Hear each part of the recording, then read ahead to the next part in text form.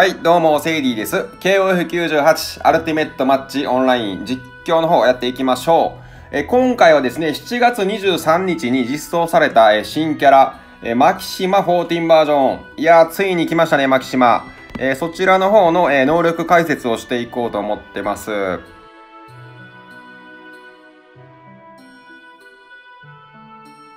で、このマキシマに関しては中華では防御型なんですけども、まあ、日本に来てからね、属性が変わるかなとかもちょっと思ってたんですが、えー、そのままね、防御型のキャラということになってます。で、マキシマ早速じゃあ見ていきましょうか。まずね、えー、闘志がですね、えー、クマなんですけども、クマトラの闘志なんで、えー、まず初ターン、え、開幕に必殺打てつつ、えー、敵味方が死亡時にも怒りが回復っていう闘志なんで、まあ、この闘志に関してはね、ものすごい強いなと思ってて、まあ、あの初回に打てて虎の効果も持ってるっていうのはなかなかいない、えー、タイプなんで、えー、っとね、誰がいたかな？ギースとかですかね、ナイトメアギースとか多分同じ闘志だと思うんですけども、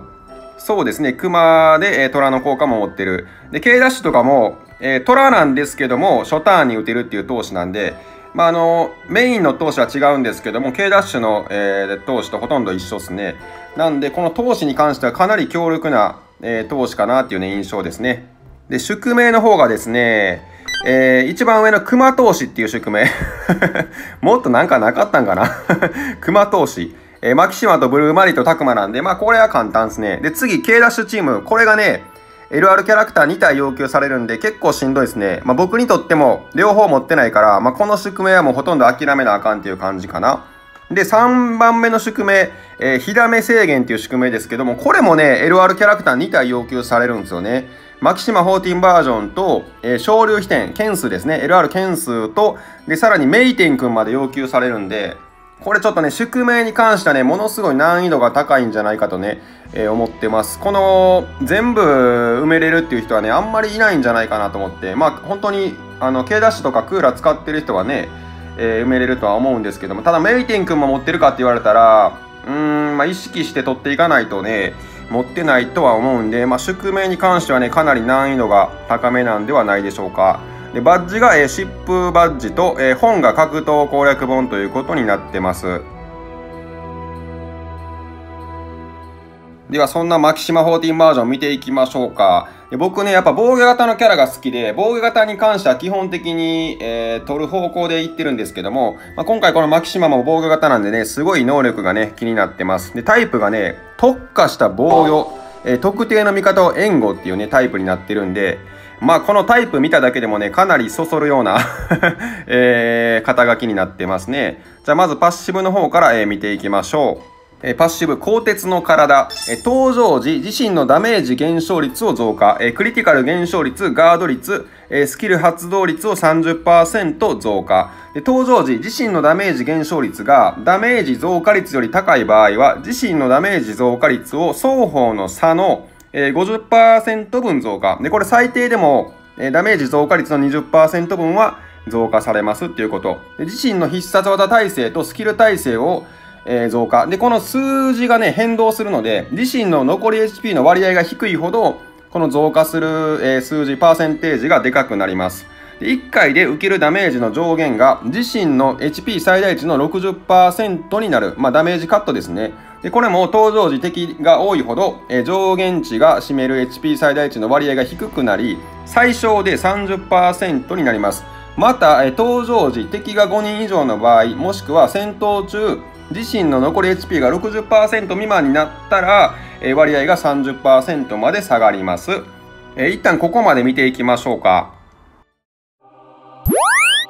このマキシマ14バージョンですが、やっぱね、防御特化っていうだけあって、このテキストを見た限り、防御能力に関することがね、結構書かれてますね。で、まずね、登場時自身のダメージ減少率を増加っていうところ、これは、レベルを上げていけばどんどん上がっていく数字で、えー、デフォルトでですね、自身のダメージ減少率を、えー、最低30%増加ってあるんですけども、これはレベルを上げていけばどんどん上がるので、このタイプはね、えっとね、オズワルド、が同じタイプやと思うんですけどもここのねレベルを上げていけばダメ減が上がるっていうとこなんですがもともとの数値がねオズワルド20%やった気もするんですよねだからこの最新のキャラなんでやっぱりオズワルド以上に、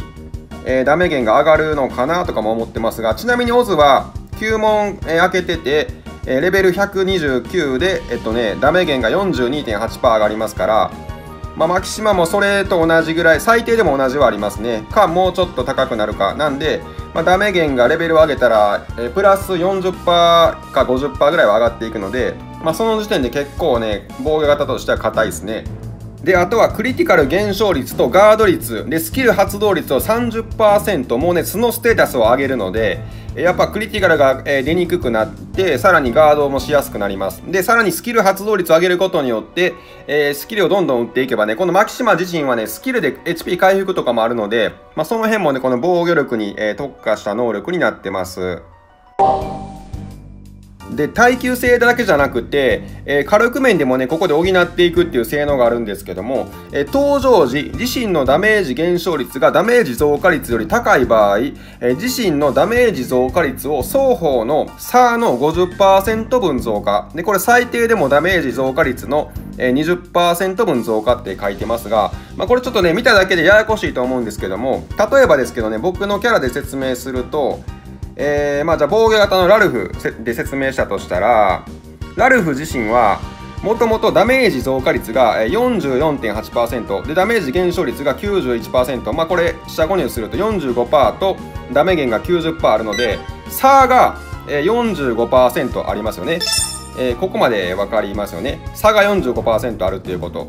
でその差に対しての50%分ダメ増増加なんでつまりこのラルフで言うと45%分に対しての50%なんで、22.5%をダメ増を乗せるっていうことになるので、えー、まあ、この差が大きければ大きいほどダメ増を乗せるっていうことになります。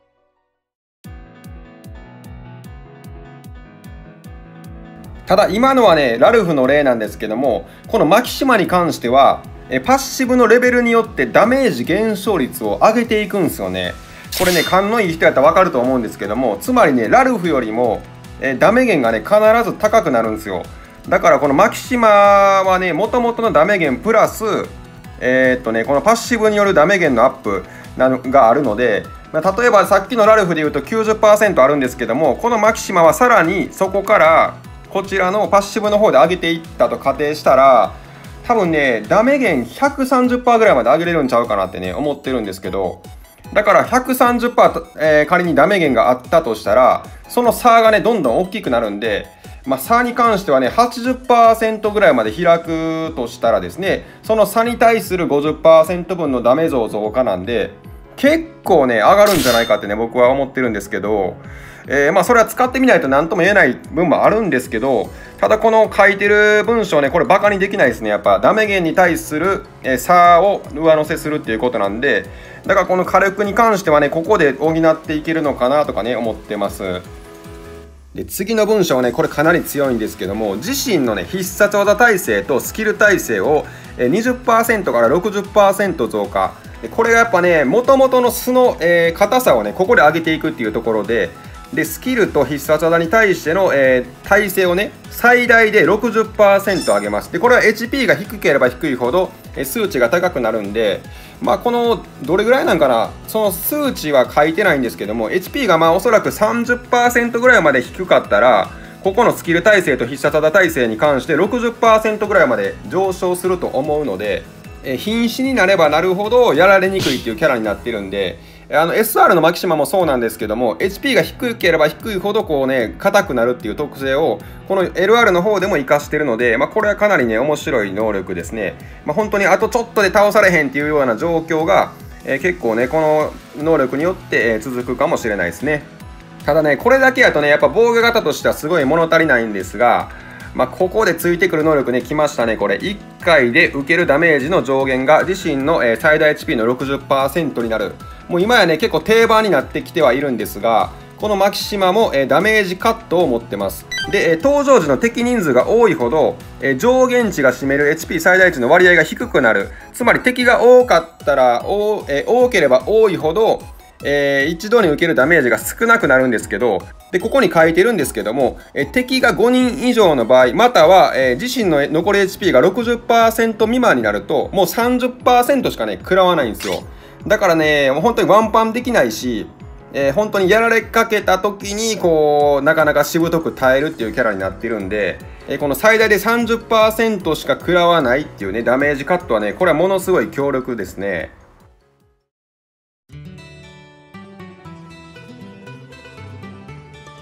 で、ここまで話した耐久性に対するね、え能力ですが、ダメージ減少率のアップと、必殺技スキル耐性のアップと、えー、ダメージカットですね。で、これから話すのはね、回復の効果なんですけど、やっぱね、今までの説明だけだとね、まだちょっと足りひんなっていうところで、で、次が、えー、回復の効果ですが、自身の残り HP の割合が40%未満の場合、え緊急回復っていう効果がね、発動します。まあ、いわば踏ん張りなんですけど、なんかかっこよく書いてますけど、ただの踏ん張りですね。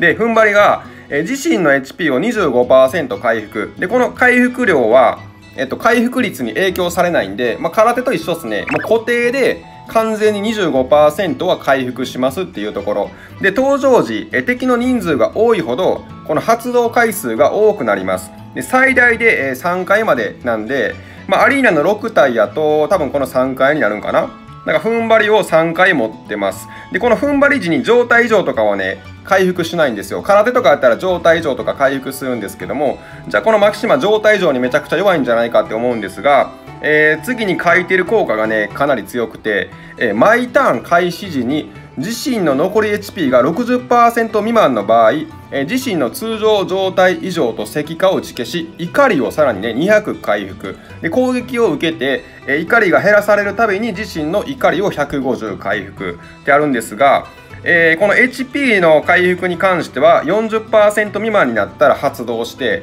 で状態以上に関してはえー、HP が60%以下になったら常にね、ターン開始時に、えー、回復します。で、さらに状態異常だけじゃなくて怒りも回復するんで、だからこのマキシマ14バージョンに関してはね、状態以上にめちゃめちゃ強いですね。もうほとんど状態異常はね、もうならんと思っててもね、えー、いいぐらいの強さ。これは本当にね、便利な能力。まあ、使ってる側としてはすごい便利ですね。状態異常になってても、まあ、オートでこう回復してくれるっていうのは、まあ、これはかなりね、強力な能力じゃないかと思います。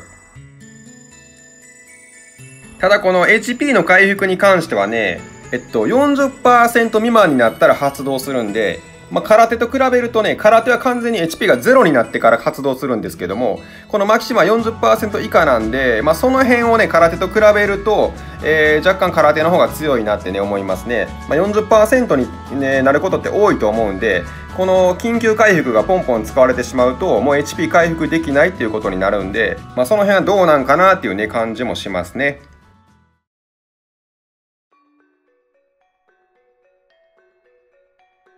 えー、このマキシマ14バージョンね、えー、防御型としての能力は実際のところどうなんていうところですけど、えー、僕自身ね、防御型のキャラがすごい好きで、LR の防御型キャラクターをね、結構今までに撮ってるんですよ。えエリザベート、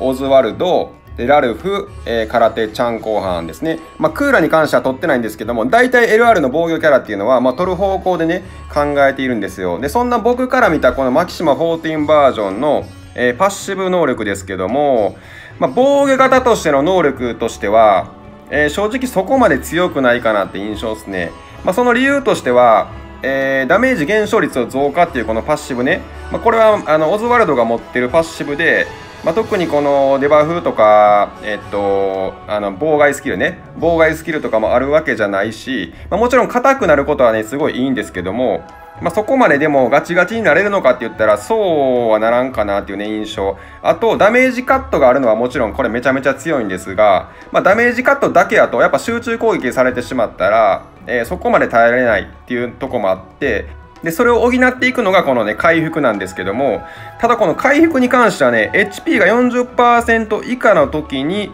えー、3回しか発動しないんですよね。うんで空手とやっぱどうしても比べてしまうんですけど空手に関してはえ HP が少なくなった時に回復も持っているしさらに HP が0になった時に踏ん張りもあるのでだからこのどうしてもねその面を見てしまうとこれ回復が追いつかないんじゃないかってね思うんすよね、まあ、メイテン君は技型でこういう能力なんですけども、まあ、このマキシマ防御型なんでもちろんメイテン君よりは硬いんですけどもただ防御性能としてこのパッシブを見る限りえー、まあ、復活があったらね、もちろん強いんですけども、ちゃんこ飯はね、あの、あの硬さで復活があるからね、めちゃめちゃ強いんですが、このマキシマはね、果たしてその、この踏ん張りだけでどんだけ耐えるのかっていうとこですよね。まあ、ダメージカットがあったとしても、やっぱ集中攻撃を食らうと、うん、まあ結構やられてしまう場面がね、多いんじゃないかってね、えー、思ってます。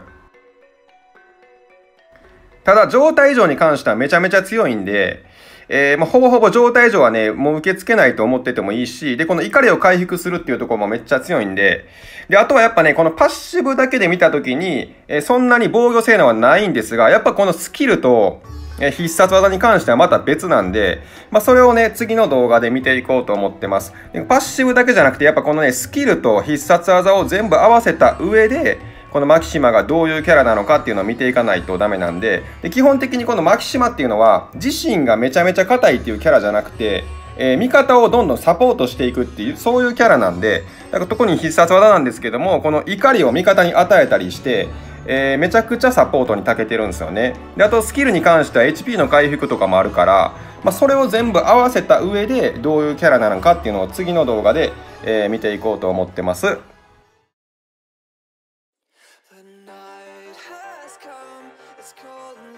で、明日、明後日忙しくてちょっとね、動画撮れないと思うんで、えー、来週に出せるかなと思います。で、31日までには確実に続きの動画出すんで、えー、まあその必殺とこのスキルを見た上で、総合的にどういうキャラなんかっていうのをね、えー、見ていこうと思ってます。やっぱね、防御型好きの僕としてはね、前から欲しい欲しいって言ってるキャラなんでね、えー、いつもよりこうしっかり見ていこうとも思ってるんで、えー、よかったらね、続きの動画もまた見てください。で、今回の動画は、えー、パッシブの解説ということでね、この辺りで終わります。続きに関してはまた来週ね、出せるかと思うので、よかったら、え見てください。では、ご視聴ありがとうございました。